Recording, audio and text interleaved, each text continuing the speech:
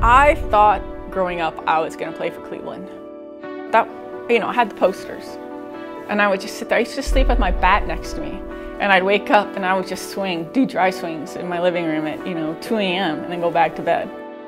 Well, I was 13 when I was first told I should quit because I'm a girl. And I just came from playing shortstop.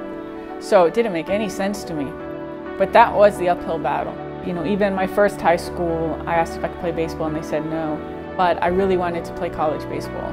So I, I went to the school, they have no-cut policy. I play fall ball with the guys before the coach even gets involved, you know, and I pitched and I did fine.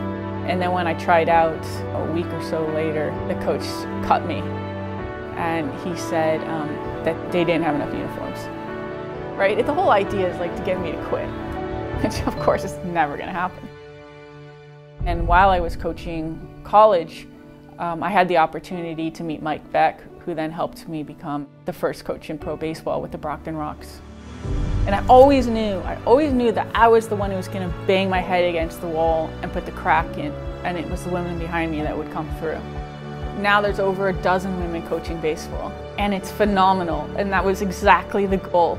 When girls play together is magical because they're so used to being the only girl. Now they can look to the right, to the left, and see someone who looks just like them. And they can, in Baseball for All, not just see someone to the right and left to them, they can look up and they can see someone older still playing. Girls are staying in the game longer because they now have a community. And in a small way, Baseball for All has gone ahead and, and lead the girls' baseball movement. I just believe in letting kids be who they want to be and they can grow up and they can grow up outside the box and then become these wonderful people and these leaders that help make our world better. And it might start with a baseball game, but to me, it's the change that the world needs.